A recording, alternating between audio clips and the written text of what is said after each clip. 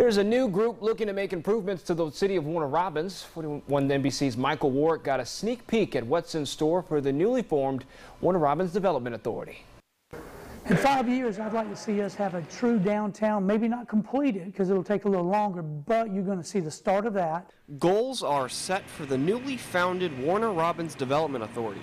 The nine member board has a chairman and vice chair who, for their lifetimes, have called Warner Robins home. You will find a very diverse um, composition of our board that represents all quadrants of our city. And I think that was intentionally done to ensure that all of the interests of every citizen are represented. Their new jobs to give their hometown a downtown.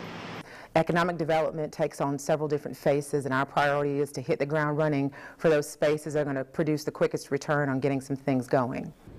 I'm standing here in the middle of Armed Forces Boulevard, and I don't really have to worry about being hit by a car, which is the problem. The city is looking at this street, looking at this area, and thinking of ways that they can bring people down this road. Whether it's building lofts, bars, offices, or retail, the Development Authority is looking at what Tim Thomas called mixed use.